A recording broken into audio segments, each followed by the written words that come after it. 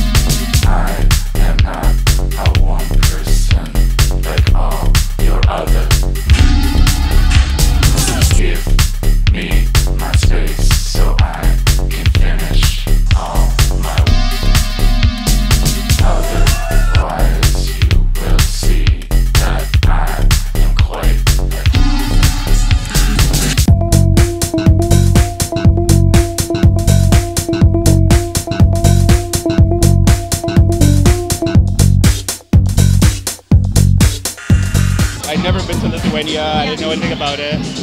And now that I've been here, it, it's automatically one of my favorite places in Europe. I don't think you guys realize how good it is here. It's really, really good.